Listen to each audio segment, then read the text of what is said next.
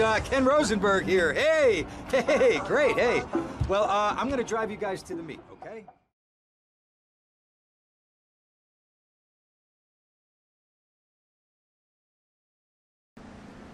A las buenas, gente.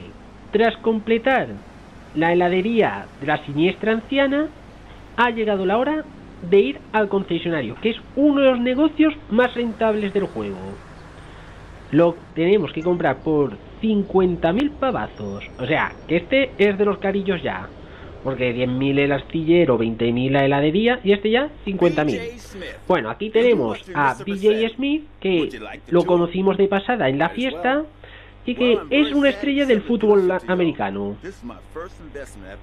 ¿Ves? Después de convertirse en profesional, fue su primera inversión y ahora ha decidido volver de retiro. Se ve que se había retirado. Ves. Se ve que no iba muy bien el, el tema del negocio. Y claro, ahora nos lo ha vendido. Y... ¡Oh! ¡Coches! Claro, él podría haber hecho, voy a desmantelar esto, quemo el terreno porque es ter- terreno de primera. Pero en fin, Tommy dice, nah, no te apures, ya me encargaré yo de que esto genere dinero. Sí, tenemos un trato. De esta manera, el salón de coches comprado. Claro, la clave del negocio aquí es los coches. Tienes que coger, hay cuatro listas con seis coches cada una. La cuestión es cogerlos todos y llevarlos así, ingresos y coches exclusivos. Y ahora vamos con la primera lista, la de coches genéricos, fáciles de encontrar.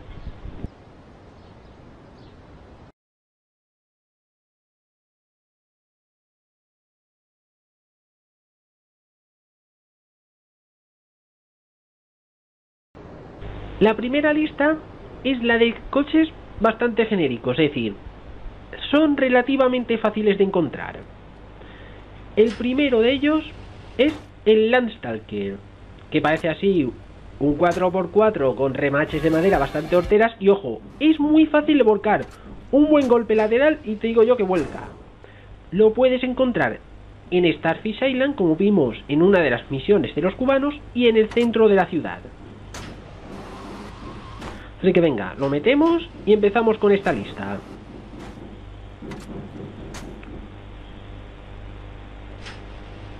Y... Vale. Ahora, el siguiente coche es el Idaho, que tiene así una capota ya sea de color blanco o negro, con ventanillas laterales, luna trasera así amplia y, de distintos variados colores. Así que ahora lo cogemos y adentro.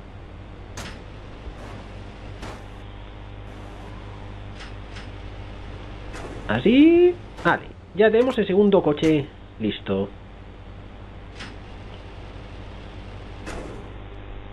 Ala. Ala, tercer coche de la lista. El Esperanto. Bueno, el Stallion. Puedes confundirlo con el Idaho, sí, pero puede tener capota o no tenerla. En caso de que no la tenga, para tener claro que es un Stallion, mírale los escapes porque tiene así doble tubo de escape. Así que de, esa manera sí es fácil de reconocer.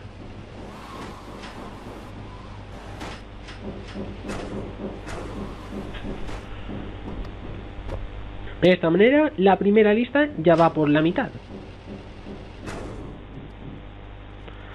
El siguiente es el Esperanto, que es un coche así alargado y que parece hecho así como en una pieza. ¿Ves? Se nota la trasera así de que parece uniforme. Los colores son varios, dicho. Eh, la parte delantera es bastante larga. Y de los coches, pues digamos que es un coche mediocre.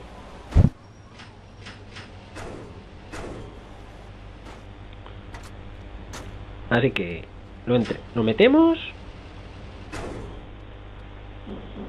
Y ahora vamos a por los dos últimos.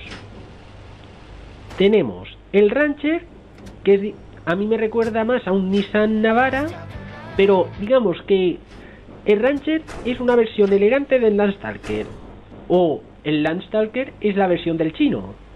Lo puedes encontrar en toda la ciudad. El, el en Ocean Beach, Little Havana y el centro de la ciudad, y el Esperanto en Little Havana y Washington Beach, que eso se me había olvidado comentarlo. Así que lo entregamos.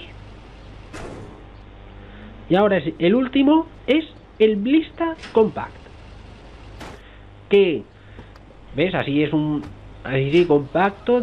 Es bastante bueno a la hora de girar. Y para reconocerlo fácilmente, se, es fácilmente distinguible por la trasera así, que es completamente el faro trasero. Que lo puedes encontrar en el centro de la ciudad y en Vice Point. Una vez te hayas metido con él en, el garaje, la lista está completada y te llevas dos cosas. La primera, este coche, que es el Deluxo. Y el concesionario empieza a generar ingresos porque ahora digamos que está adquirido empieza a generarlos por valor de 1.500 dólares máximo. Poco pensarás, pero no. Ahora hay más listas que aumentarán los ingresos de este concesionario, ¿eh? Por eso no te preocupes. De esta manera vamos a comenzar ya con la segunda de las listas, la de coches así genéricos, pero más difíciles de encontrar.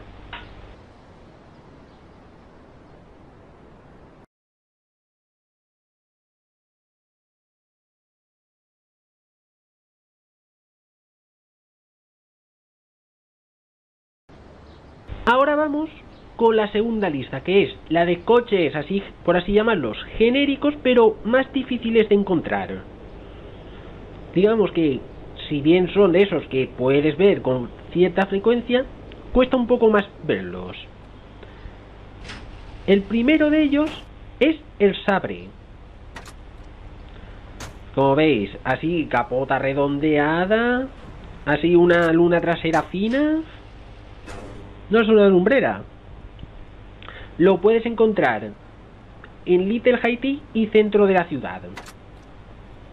Eh, ahí es donde puedes encontrarlos más fácilmente.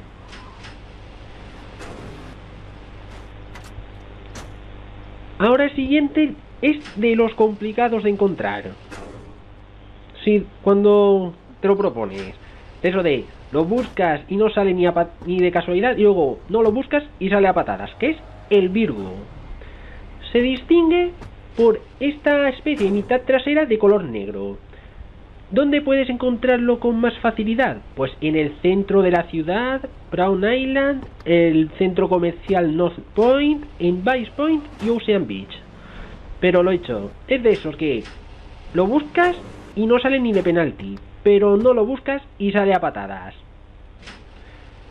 De esta manera, el segundo ya está entregado.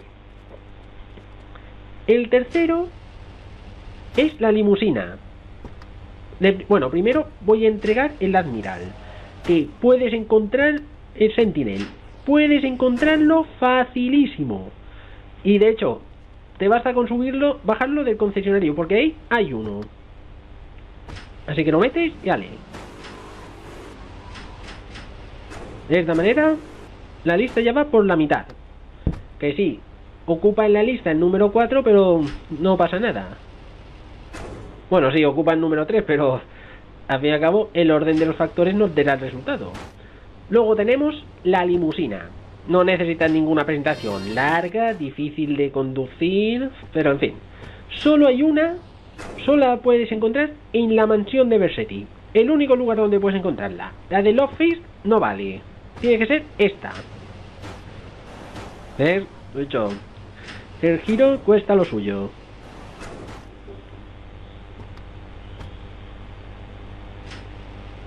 Y... Tachan. Ya tenemos el cuarto coche entregado.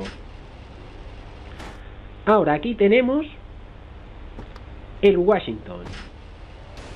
Que, como veis, es un poco largo, Y el lugar donde puedes encontrarlo más fácilmente es en el estadio Jaiman, que está no muy lejos del Jaiman Kondo.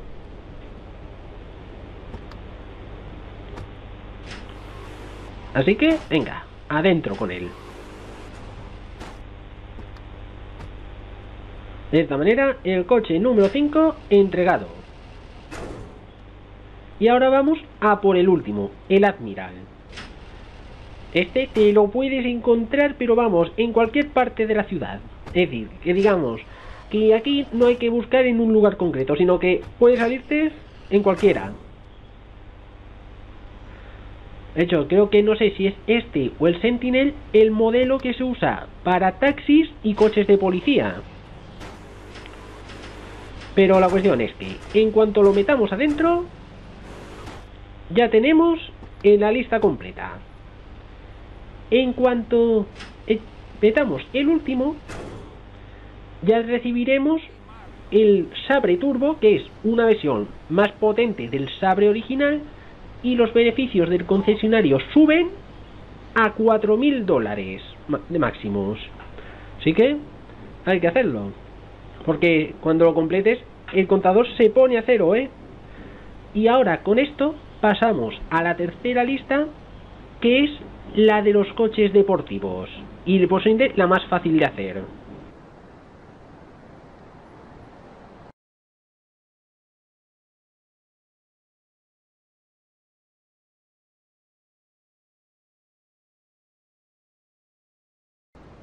La tercera lista es la de los coches deportivos y puede ser tranquilamente la más fácil de completar. ¿Y por qué? Porque todos están en Starfish Island. Así claro, todos.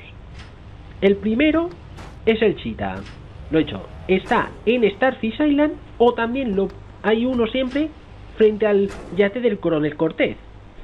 Así que parece así un Ferrari testa rosa.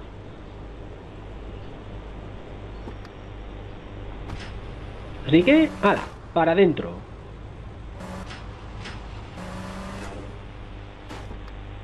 Vale, uno. El segundo es el Infernus, que parece más un Lamborghini. Lo puedes encontrar también en Starfish Island o en la propia mansión de Bercetti, el, ya sabéis, el Infernus blanco. Ese, ahí lo tenéis rapidito. Va, va bastante pegado al suelo y demás. Eso que oís es que están haciendo obras en la casa de al lado, por eso se oye. Así que ya tenemos el segundo.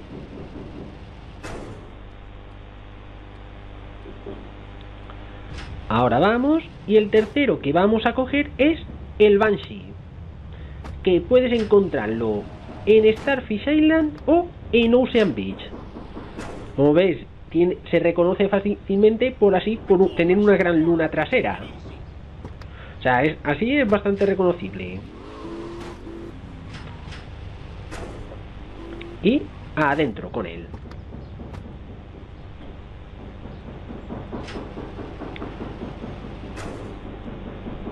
Y vale, lo he hecho. Ya vamos a la mitad del asunto. El cuarto coche de la lista es el Fénix, que es más un así un Pontiac y si se mira así de frente parece el coche fantástico. Quien haya visto la serie le sea familiar y si no, buscadlo en internet.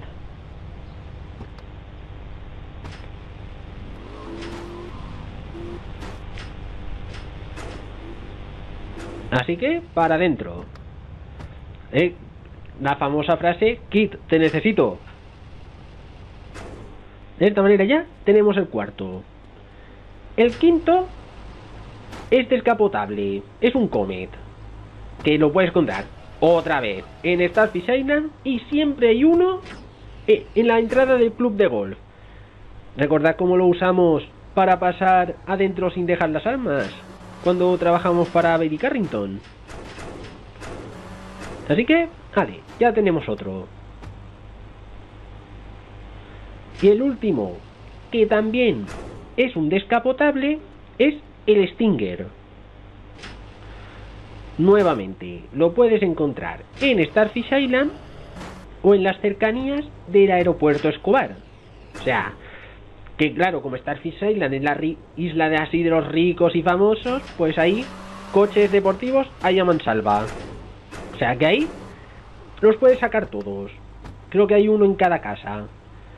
De esta manera, la tercera lista queda completada y obtenemos un nuevo coche. Y claro, también hay beneficios, porque desde este momento los ingresos suben hasta los 6.500 dólares, nada. Así que ahora ya vamos a pasar a completar la última lista, que es la de los coches, digamos, más exclusivos y concretos que se pueden encontrar.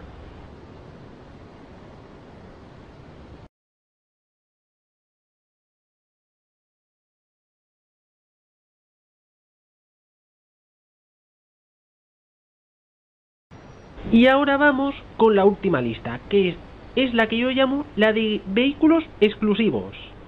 Es decir, esos que solo puedes encontrar en una parte y que pertenecen a un ámbito concreto. Que hay otros seis. El primero es el Voodoo. Lo conoces de sobra. Es el coche oficial de la banda de los haitianos. Se distingue fácilmente por el cordón, los burdeos y porque es tiene hidráulicos. Así que puede pegar buenos saltos. Es así. Econogranati y demás. Siempre hay uno en casa de tía Paulette y es muy fácil encontrarlo en líneas generales en Little Haiti. Así que lo metemos y ya tenemos el primero.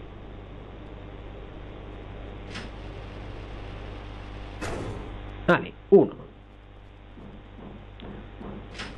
El siguiente es el Cuban Hermes que, como su nombre indica, es el oficial de la banda de los cubanos. Es facilísimo de distinguir. Es negro y con llamas en la parte delantera.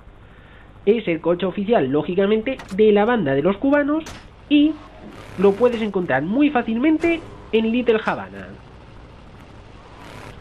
Y también echa así como fuego por los escapes, o sea que es bastante chulo. Ya tenemos el segundo. Ahora vamos a por el tercero, que es básicamente un carrito de golf, un caddy. Lo puedes encontrar en el club de golf o en sus alrededores. Como ya dije en su momento, es prácticamente imposible de volcar. Pero así, tal cual, es lo opuesto al Landstalker. Así que lo metemos. Y ya vamos a la mitad. Venga, tres coches más y ya habremos completado el concesionario. El siguiente es un carrito de equipajes. Este lo puedes encontrar fácilmente en el aeropuerto Escobar y en sus alrededores. Ves, no es gran cosa y a veces puede tener maletas o ir vacío, oye, quién sabe. Igual encontramos, tenemos ahí una maleta, una joya súper chula para Carmen San Diego y etcétera, oye. para adentro. El quinto vehículo, ojo, es el Mr. Whoopi. Así que, si quieres completar el concesionario, antes tendrás que haber comprado la fábrica Cherry Popper. No necesita ninguna presentación ahí. Una camioneta con dos helados ahí, nada más. parece así una cara, así de frente. Así que lo cogemos.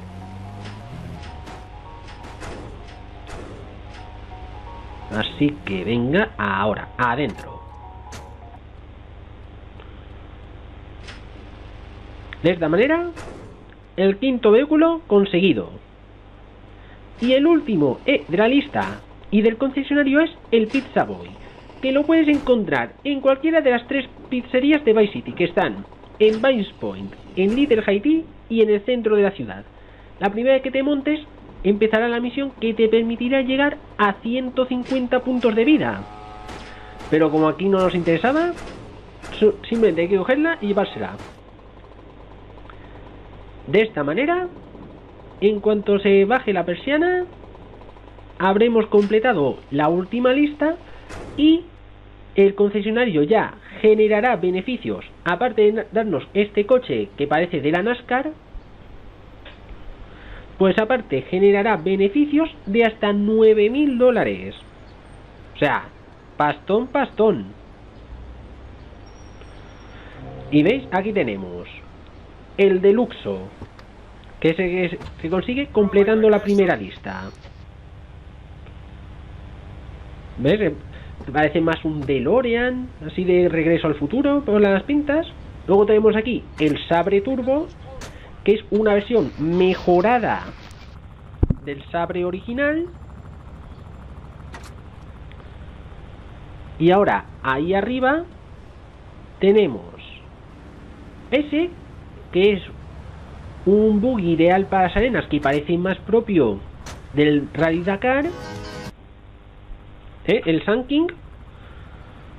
Y el último, ahora enseguida, en cuanto nos bajemos, os digo cuál es. ¿Ves? Uy, un objeto oculto, el número 13. Y aquí tenemos el último coche, que es el Hot Ring Racing. Que parece, lo he dicho, un coche de la NASCAR. Es lo que más se, se acerca para mí. De modo que el concesionario de coches ya está completado. Otro negocio a la saca. De modo que aquí lo vamos a ir dejando por ahora. Ya en la siguiente entrega vamos a ir no muy lejos de aquí para comprar una compañía de taxis que está de capa caída y que nos toca a nosotros llevarla de nuevo a lo más alto, como no. Así que ya nos vemos en la próxima entrega. Oh, jeez, I'm gonna need new pants. Hey, those psychos from up north, they've been on the horn, and they're coming down here soon. Now, where is the goddamn money? Relax, relax. We're not at that part Oh, I thought that you were taking care of this. I really did. And now those Guidos say we gotta do them a favor. yet. You mean I gotta do them a